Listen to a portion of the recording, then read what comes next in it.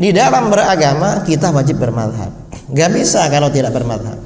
Orang itu kalau tidak bermadhab biasanya hatinya kasar, hatinya keras.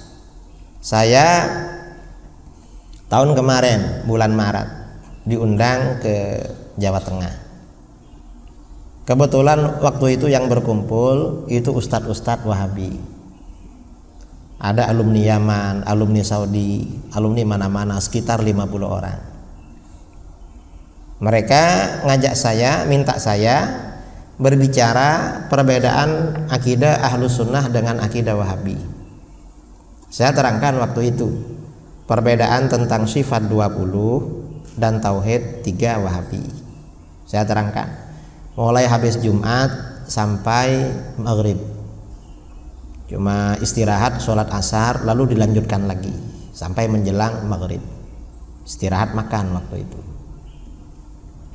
Saya tanya sama mereka. Tapi mereka sekarang sudah lembut-lembut, sudah meninggalkan ajaran Wahabi. 50 ustadz ini. Apa kata mereka? Betul Kiai. Kami dulu ketika tidak bermadhab hati itu keras. Hati itu kasar. Hati itu keras, buktinya keras.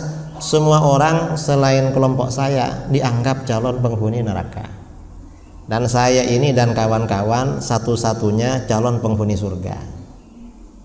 Waktu itu. Terus bagaimana? Dan kami menganggap amalan-amalan orang ahlus sunnah itu gak punya dalil. Bid'ah. Akhirnya kami belajar fikih mazhab syafi'i.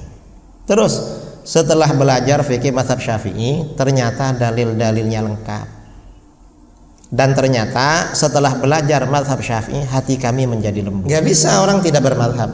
Orang itu kalau tidak bermadhab tidak bisa mendalam pengetahuannya dalam bidang ilmu fikih. Gak bisa.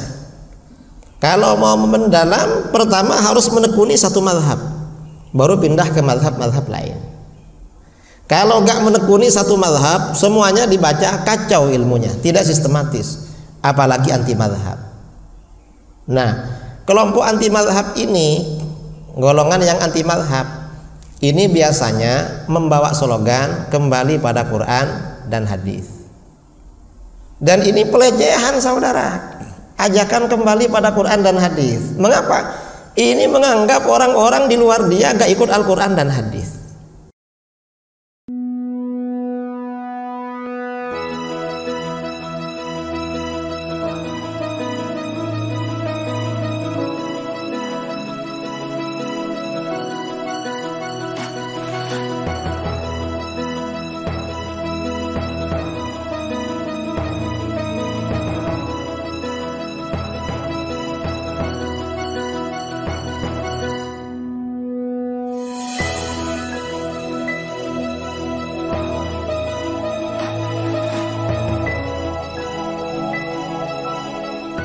Assalamualaikum warahmatullahi wabarakatuh.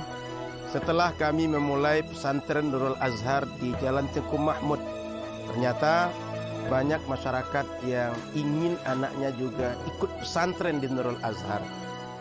Tapi daya tampungnya tidak bisa memadai banyak orang. Alhamdulillah hari Selasa 28 Desember 2021 kami diamanahkan kembali untuk mengelola tanah wakaf 2 hektar di Jalan Tengku Maharatu, Kelurahan Tengku Maharani, Kecamatan Rumbai Barat, Kota Pekanbaru. Insya Allah, tanah dua hektar yang terhampar di belakang ini akan kita bangun pesantren Nurul Azhar 2 sehingga semakin banyak masyarakat yang bisa ditampung untuk belajar ilmu agama. Di sini mereka menghafal Quran, mereka belajar cara membaca kitab-kitab yang menjadi referensi ilmu Islam. Kita menyebutnya kitab kuning dan mereka kita latih kemandirian berjiwa sosial dan aktif dalam berdakwah di masyarakat. Bapak Ibu bisa support wakaf pembangunan pesantren Nurul Azhar 2 melalui rekening Bank Muamalat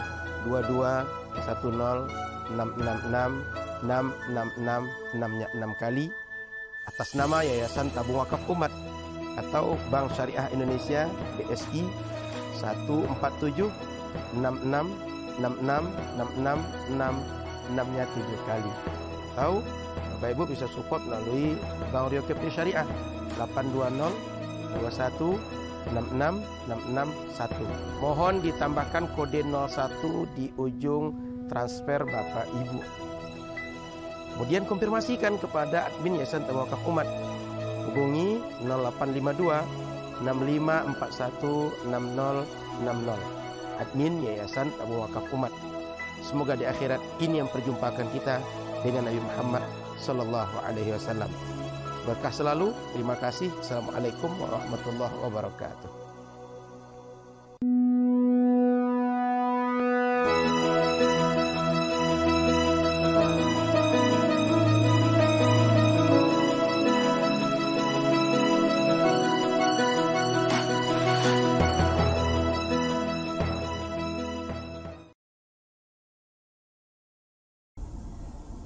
Kuliah malam yang disiapkan makanan kambing itu.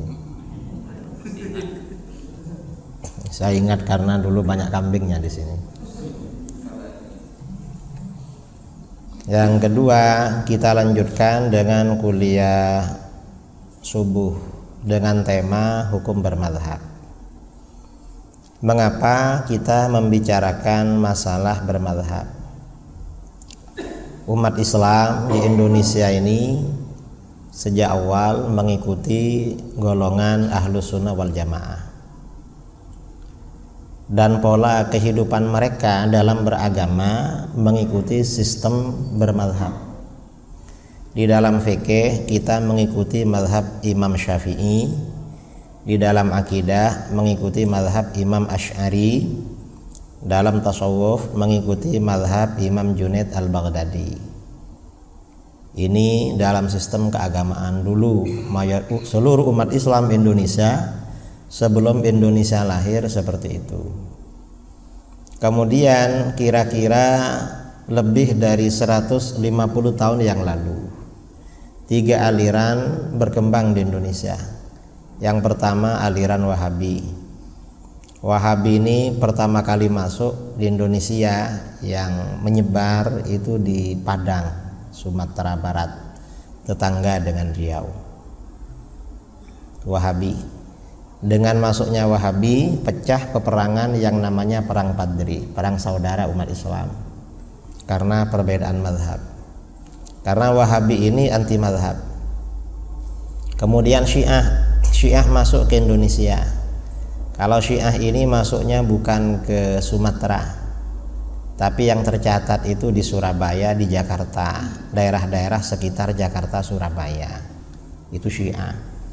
Lalu juga bermunculan aliran-aliran lokal. Syiah ini beda dengan Ahlus Sunnah. Madhab fikihnya beda, madhab akidahnya beda, dan sama-sama seperti Wahabi anti ajaran tasawuf. Lalu berkembang pula aliran lokal apa aliran lokal yang berkembang? Aliran kebatinan waktu itu. Kebatinan ini mengaku-ngaku ikut tasawuf tapi mengajak tidak sholat. Tidak sholat, tidak puasa dan tidak mengerjakan syariat Islam. Kalau ada azan di masjid cukup ingat Allah, nyebut Allah, itu sudah sholat katanya. Ini kebatinan, ini dulu. Nah kemudian dulu awalnya tiga aliran yang berkembang di negeri kita. Sekarang sudah hampir 200 tahun. Kira-kira kalau 200 tahun yang lalu ada tiga orang Sekarang anak cucunya ada berapa? Kira-kira. Gak bisa dihitung. Dulu aliran di luar ahlus sunnah ada tiga Sekarang sudah bukan tiga Mungkin ada tiga ribu sekarang anak cucunya di Indonesia. Nah, kita mengapa ahlus sunnah ini dari dulu memang polanya dalam beragama mengikuti sistem bermadhab. Madhab itu artinya apa? Madhab itu artinya mazhab ilaihil imam wakhtarahu minal ahkam. Hukum-hukum yang diambil dan dipilih oleh seorang imam. Misalnya Imam Syafi'i, madhab Imam Syafi'i artinya hukum-hukum yang diambil dan dipilih oleh beliau. Karena hukum-hukum itu sebelumnya sudah ada. Lalu kemudian beliau milih. Kita ini kalau sholat subuh madhab Syafi'i baca kunut. Kalau madhab di luar Syafi'i tidak baca kunut. Hanafi dan Hambali tidak baca kunut. Kalau Maliki dan Syafi'i baca kunut. Mengapa begitu? Sebelum empat madhab ini lahir, orang sholat subuh ada yang baca kunut, ada yang nggak baca kunut memang. Cuma kemudian dalam perjalanan Imam Malik dan Imam Syafi'i berpendapat madhab yang kuat, yang hadisnya kuat itu yang baca kunut. Kata Imam Hanafi dan Imam Hambali yang kuat yang nggak baca kunut. Akhirnya sama-sama milih. Satunya pilih yang baca kunut, satunya yang milih yang nggak baca kunut itu. Awalnya begitu. Maka terbangun yang namanya madhab. Nah sekarang di negeri kita madhab ini sudah tidak satu, tapi sudah yang berkembang ya Wahabi ada madhab Wahabi yang versi madhab Hambali ada juga di Indonesia tapi Hambalinya versi Wahabi ada Wahabi yang anti madhab ada juga ada madhab Syiah ada juga. Ada yang condong ke madhab Hanafi sebagian jamaah tabligh. Ada juga di negeri kita. Ada yang Syiah Zaidiyah ada juga di madhab kita. Ini macam-macam. Nah ini di tengah perbedaan ya, di tengah konflik perbedaan antar mazhab ini dalam menyikapi perbedaan mazhab ini macam-macam. Ada yang mengajak gimana kalau kita bersatu aja. Kan ahlu sunnah ini umat Islam, Wahabi Islam juga, Syiah Islam. Kenapa gak bersatu? Bersatu.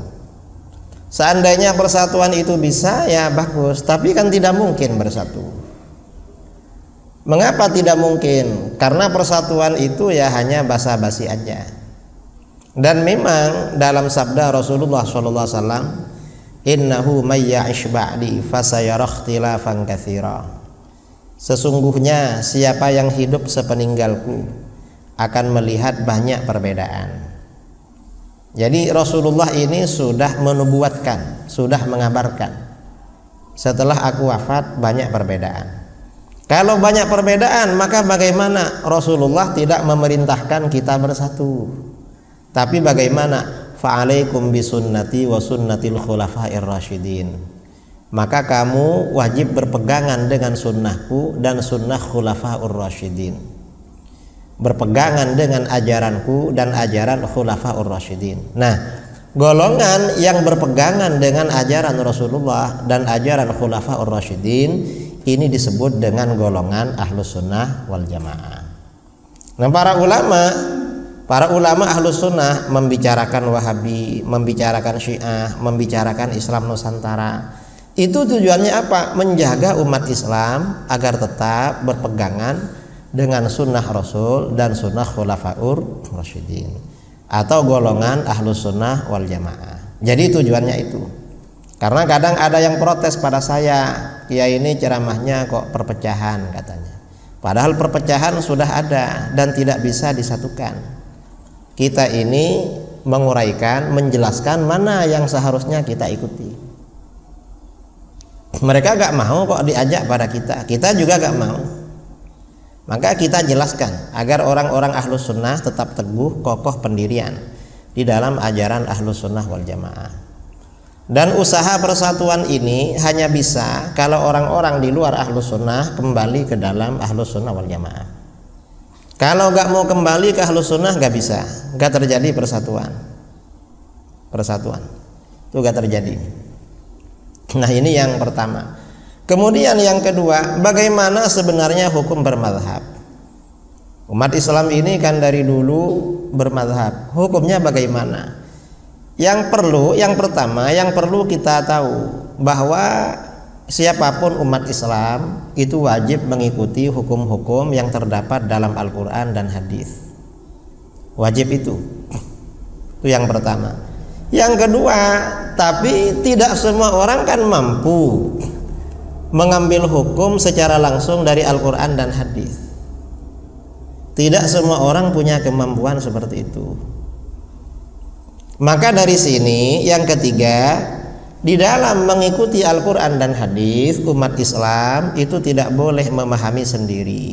hasil pemahamannya sendiri. Tapi bagaimana harus mengikuti ijtihad para ulama.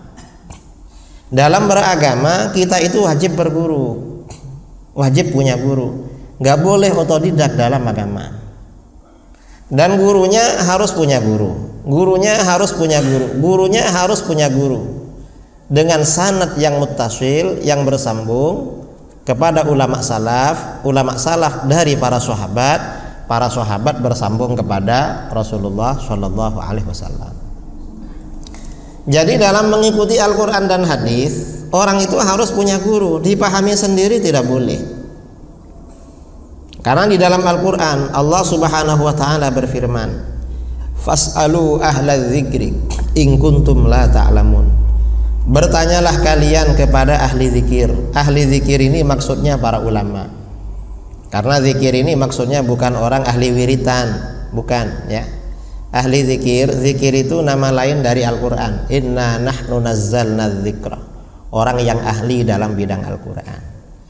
Artinya ahli zikir itu orang yang benar-benar mengerti terhadap kandungan Al-Qur'an in kuntum la ta'lamun apabila kalian tidak tahu. Karena di belakang ada kalimat la ta'lamun kalau kalian tidak tahu.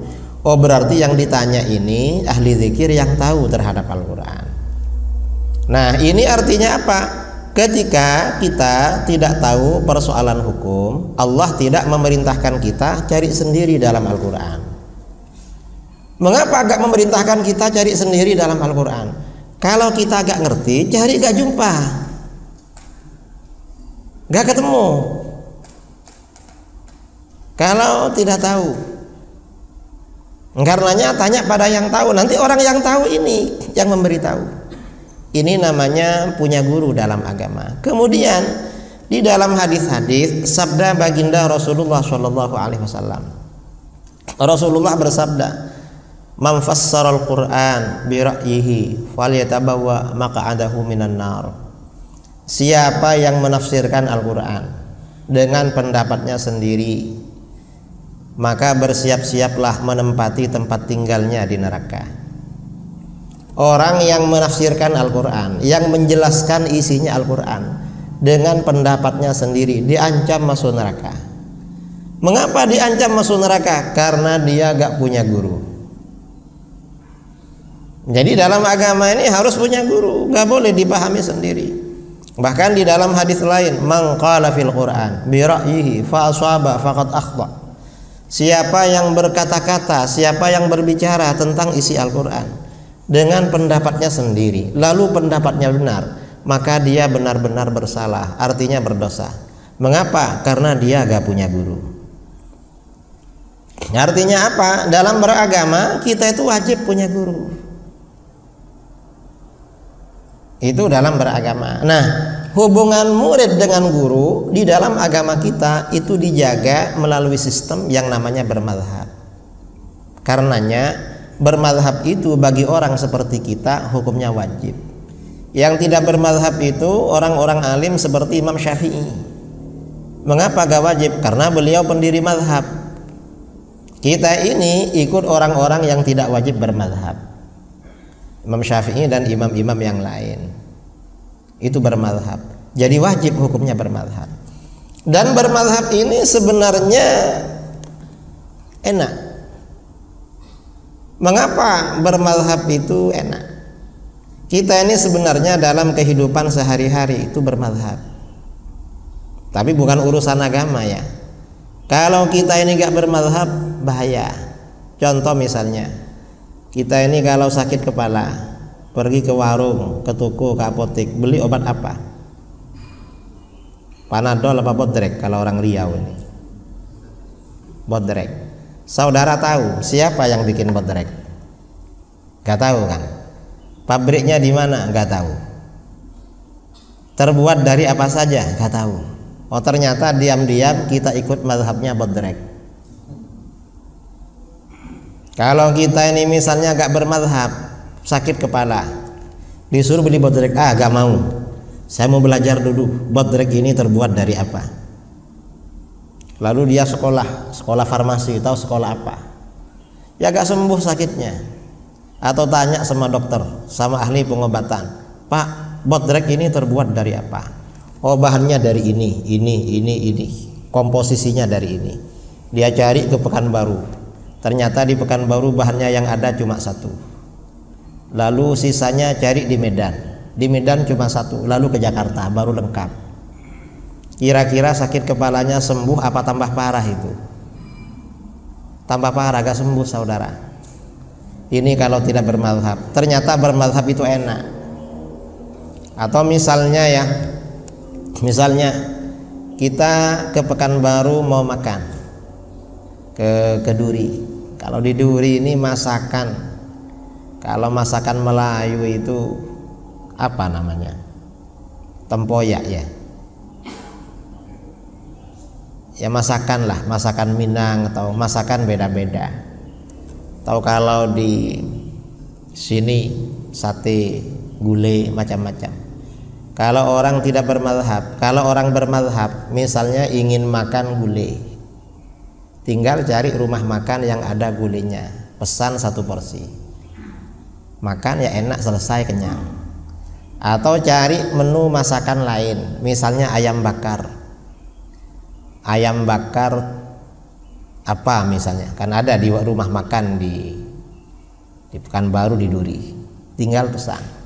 Kalau kita tidak bermadhab, misalnya ingin makanan apa, wah enggak, saya enggak beli. Apa? Saya anti madhab. Lalu dia belajar, ini makanan terbuat dari apa? Oh ini ayam. Akhirnya cari ayam sembelih sendiri. Padahal semua orang kan nggak mungkin, nggak pandai sembelih ayam itu. Bahkan ada orang selama hidupnya nggak pernah sembelih ayam. Ada. Yang mulai lahir sampai sekarang nggak pernah nyembelih ayam ada yang nggak pernah sembelih kambing ada ada kalau setiap sembelih kambing dia nyuruh orang ada yang begitu. Kalau dia gak bermadhab sembelih ayam nggak tahu. Belajar dulu sembelih ayam. Setelah belajar sembelih ayam belajar bumbu-bumbunya. Cara memasak. Kira-kira orang belajaran begitu makanannya enak apa enggak? Gak enak saudara. Belajaran. Tapi kalau bermadhab tinggal datang ke rumah makan pesan satu porsi kita makannya enak. Ini namanya bermadhab.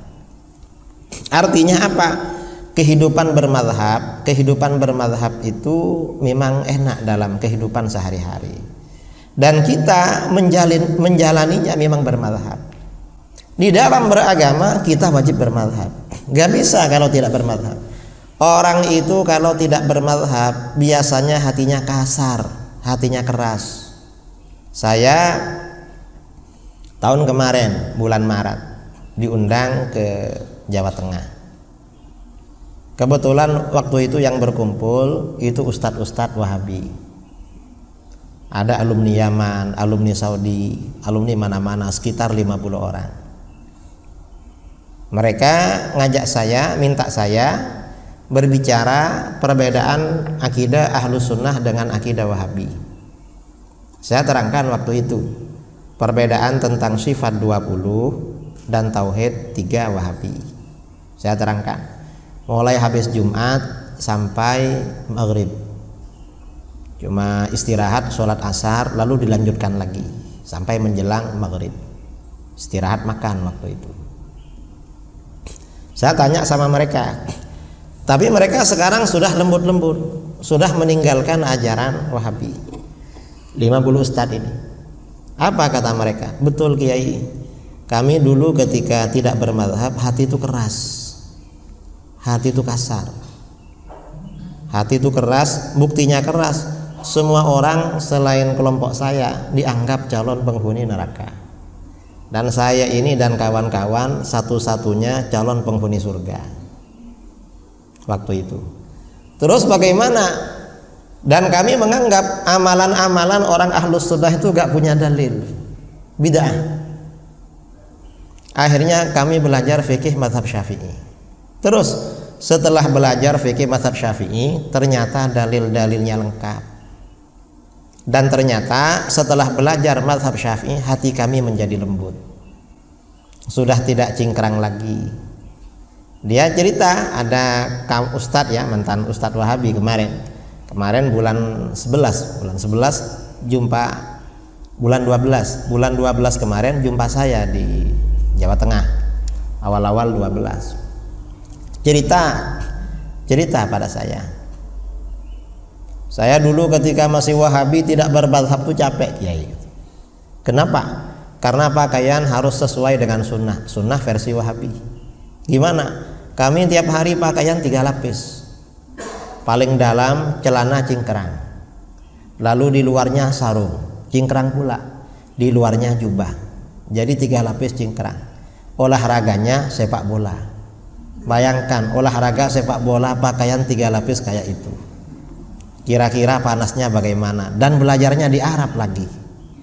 Arab tuh sangat panas.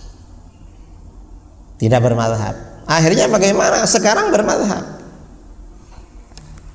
Jadi bermadhab itu ya memang keharusan bagi kita. Nggak bisa orang tidak bermadhab. Orang itu kalau tidak bermadhab tidak bisa mendalam pengetahuannya dalam bidang ilmu fikih nggak bisa. Kalau mau mendalam pertama harus menekuni satu madhab. Baru pindah ke madhab-madhab lain. Kalau nggak menekuni satu madhab semuanya dibaca kacau ilmunya. Tidak sistematis. Apalagi anti madhab nah kelompok anti madhab ini golongan yang anti madhab ini biasanya membawa slogan kembali pada Quran dan hadis.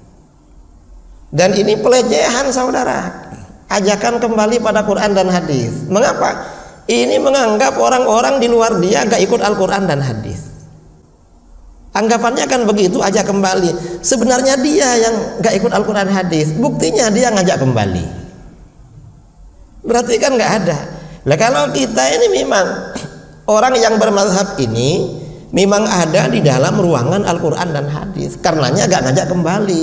Lah ngapain ngajak kembali? Kita ikut nih mah. Lah dia yang gak ikut itu ngajak kembali.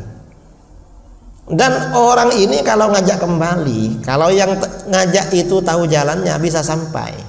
Misalnya ngajak kita pergi ke Pekan, tahu jalannya bisa sampai tapi kalau yang ngajak gak tahu jalannya, kira-kira dibawa ke mana itu?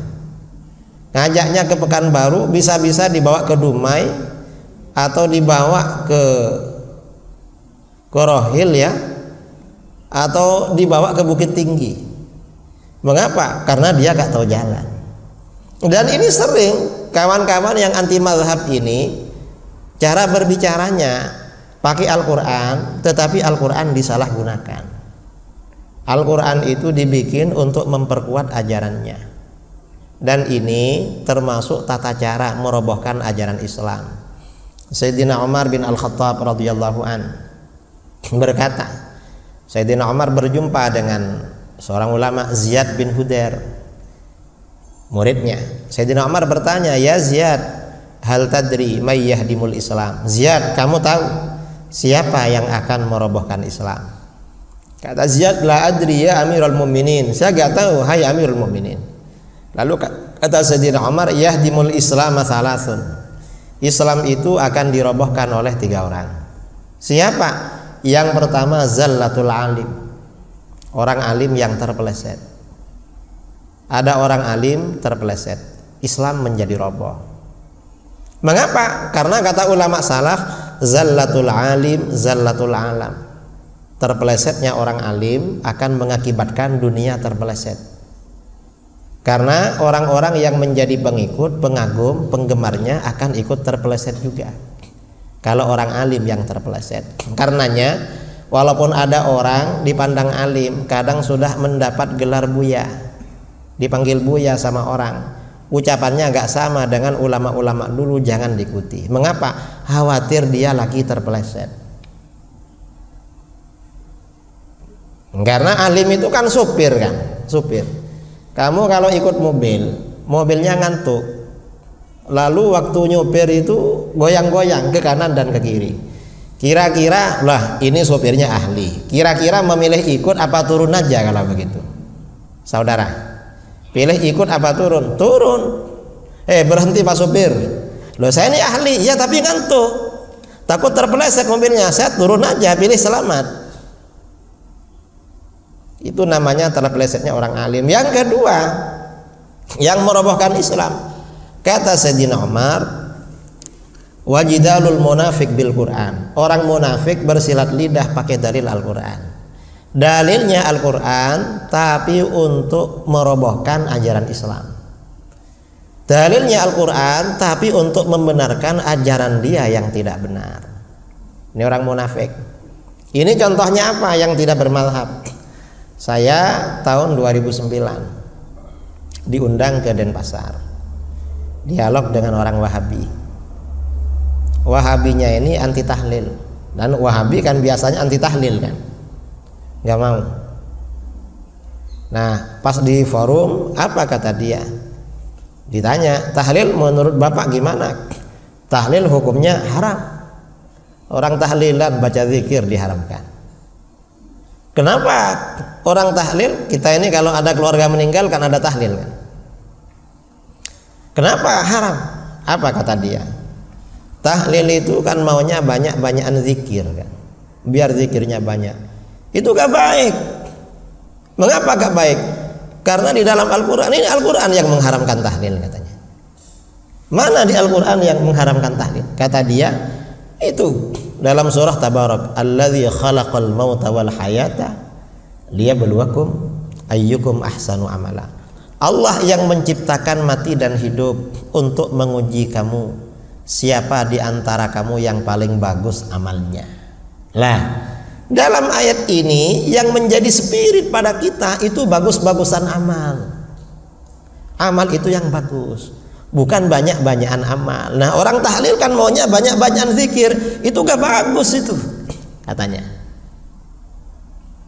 Saya bilang sama dia, "Loh, Bapak ini apa gak salah fikir? Karena di dalam ayat ini kan spiritnya spiritnya agar kita bagus-bagusan amal. Bagus itu kan lawan katanya jelek. Melakukan amal yang bagus berarti meninggalkan perbuatan yang jelek. Loh kok bisa Bapak ini bagus di, dilawankan dengan banyak? Ini namanya bagus dianggap lawannya banyak. Sejak kapan? Bagus itu kebalikannya banyak. Karena menurut semua orang bagus itu kebalikannya jelek. Kalau banyak kebalikannya sedikit. Kalau berzikir kepada Allah justru semakin banyak semakin bagus. Ini bapak malah zikir kalau banyak malah tidak bagus. Dari mana ini?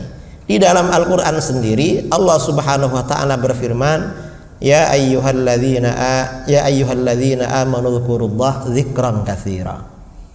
Hai orang-orang yang beriman, berzikirlah kalian kepada Allah sebanyak-banyaknya. Loh, berzikir ini oleh Al-Qur'an diperintahkan sebanyak-banyaknya. Berarti zikir semakin banyak semakin bagus. Bapak bilang banyak-banyak zikir tidak bagus katanya. Dari mana itu? Nah, ini ini artinya apa? Orang nggak bermazhab seperti itu, saudara. Mereka memang dalilnya pakai Al-Quran. Tapi berhubung gak bermazhab, dalilnya hasil olahan sendiri. Gak sesuai dengan apa yang didalilkan. Karenanya kita ini ya, kita ini, kita di dalam beragama bermazhab. Kalau bermazhab, karena ulama-ulama mazhab ini alim-alim.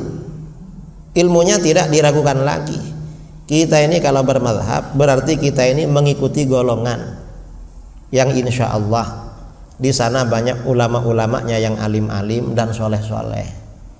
Ilmunya gak nanggung. Kalau tidak bermadhab ya seperti barusan ini. Antara dalil dengan apa yang didalilkan sangat tidak nyambung. Dan berzikir itu berzikir itu semakin banyak justru semakin bagus. Kalau zikirnya berkurang itu gak bagus.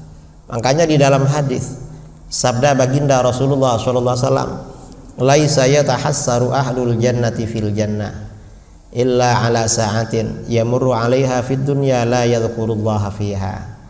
Tidaklah penduduk surga itu menyesal setelah masuk surga kecuali karena satu masa yang dia lalui di dunia tanpa diisi zikir kepada Allah kita ini dalam 24 jam zikirnya berapa jam?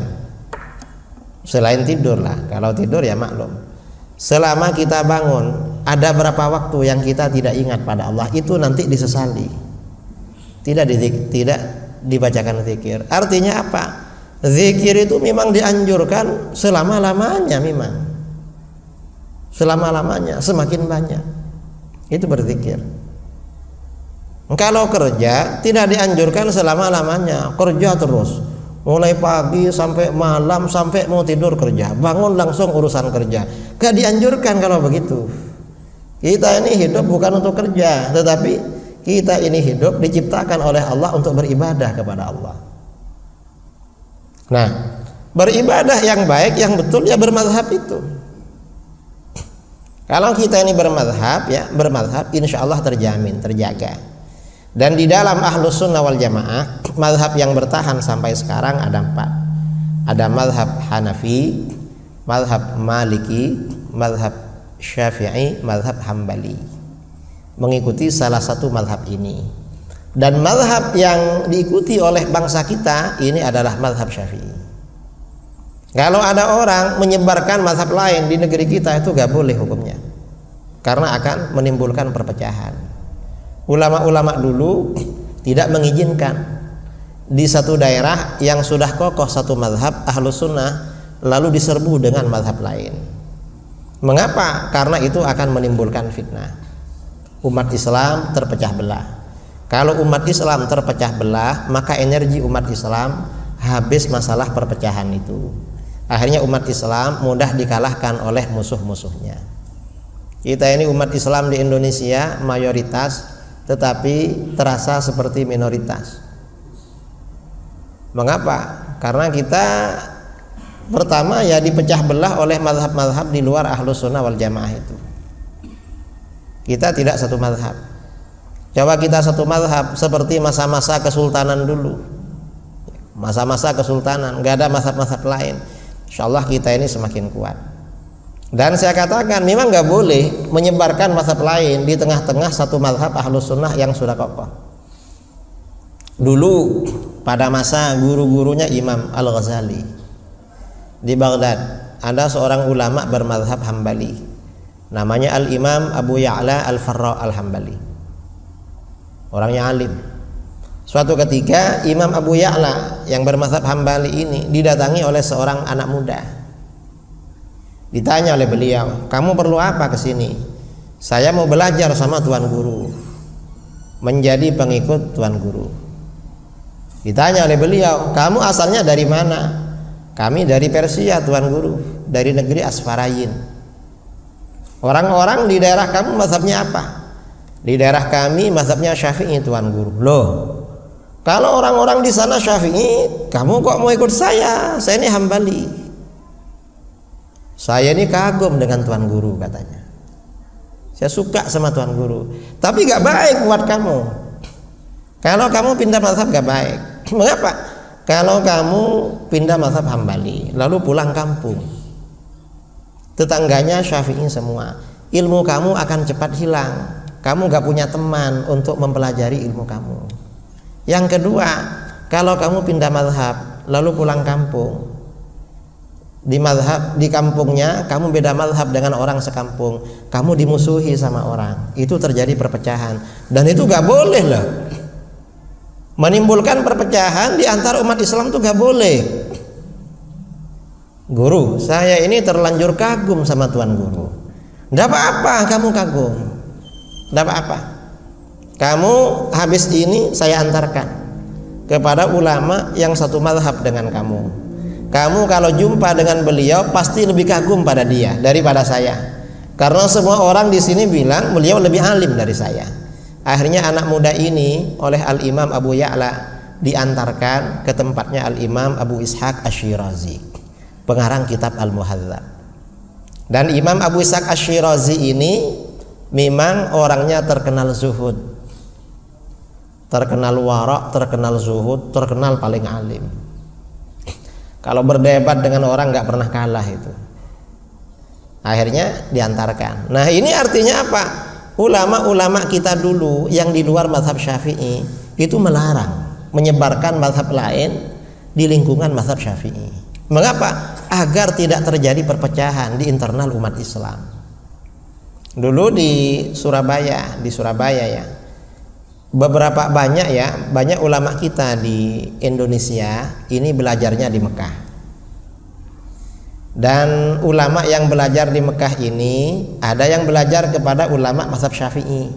Kalau dulu ada Syekh Yasin Padang ya Syekh Yasin Al Fadani kemudian ada Syekh Abdul Qadir Al Mandaili Al Mandili di Mekah. Kemudian ada Syekh Ismail Al-Yamani itu Syafi'i. Lalu ada juga ulama Maliki tapi muridnya Syafi'i semua. Siapa? As-Sayyid Muhammad bin Alwi Al-Maliki. Beliau ini mazhabnya Maliki, tapi pelajarannya saudara. Sekarang kan putranya Syed Ahmad. Karena murid-muridnya memang orang Indonesia semua. Indonesia ada sebagian Malaysia. Maka bagaimana? Yang diajarkan fikih Syafi'i. Bukan Maliki dan beliau sholatnya syafi'i cuma mazhabnya maliki. Ini aneh. Suatu ketika ada muridnya di Jawa Timur namanya Ki Ihya. Minta izin kepada gurunya Syed Muhammad Al-Maliki. Gimana guru? Buya saya ini mau pindah mazhab. Mazhab apa? Agar seperti Buya ikut mazhab Maliki. Dilarang kamu jangan jangan. Nanti kamu menimbulkan fitnah terjadi perpecahan. Beda mazhab Nah ini artinya apa? Para ulama yang soleh, para ulama-ulama ahlus sunnah yang soleh sejak dulu memang melarang. Kita ini kalau tinggal di satu daerah sudah ikut satu madhab lalu pindah madhab itu gak boleh. Jangankan madhab ya, meninggalkan tradisi aja oleh para ulama gak boleh. Imam Syafi'i berkata, tarkul adah zambun mustahdath. Meninggalkan tradisi masyarakat itu akan dianggap sebagai dosa yang dibikin-bikin, disalahkan. Artinya gak dianjurkan oleh beliau. Atau di dalam kitab lain, ulama berkata, la yambagil khuruj min adatin nas illa fil haram. Tidak sebaiknya meninggalkan tradisi masyarakat selama tradisi tidak haram. Artinya apa? Tradisi aja oleh para ulama kita diwanti-wanti, diantisipasi, jangan tinggalkan Mengapa? Karena berbeda dengan tradisi masyarakat. Kata pepatah Arab, tarkul adah adawah, meninggalkan tradisi akan menimbulkan permusuhan. Dan permusuhan tidak boleh. Umat Islam itu harus rukun. Itu meninggalkan tradisi, apalagi menyebarkan mazhab lain yang menimbulkan perpecahan di internal umat Islam. Itu tambah tidak boleh. Karenanya dari sini menjadi penting ya, jadi penting kita ini kalau punya anak masukkan ke lembaga-lembaga pondok pesantren yang satu mazhab dengan kita yaitu mengajarkan mazhab Imam Syafi'i. Kalau di Rohil itu ada pondok apa namanya? Bidayatul Hidayah. Pondok Bidayatul Hidayah yang dipimpin oleh siapa itu? Besar pondoknya. Kalau di Duri ini Buya Yahya sudah mulai buka. Kah di mana tempatnya itu? Dekat sini ya. Kemudian saya saya sendiri di Pekanbaru itu merintis Pondok Al Hujjah sudah setahun.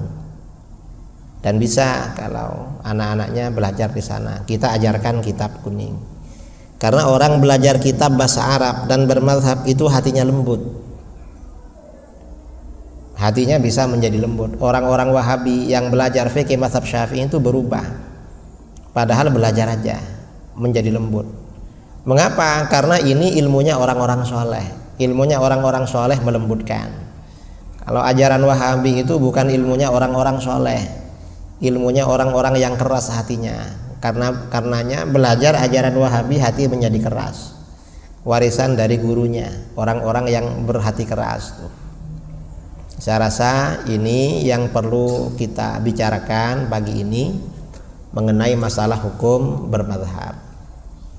Mungkin saudara-saudara ada yang mau disampaikan atau ditanyakan, persilahkan.